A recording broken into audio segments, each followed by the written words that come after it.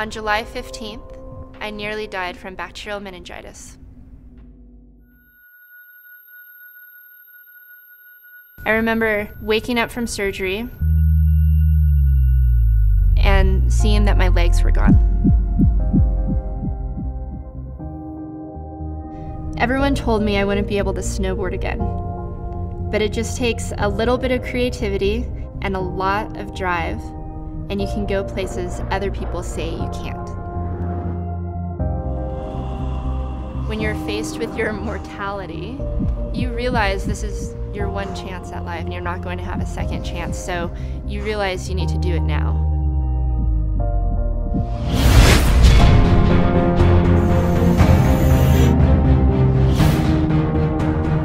Everybody has tragedy at some point in their lives.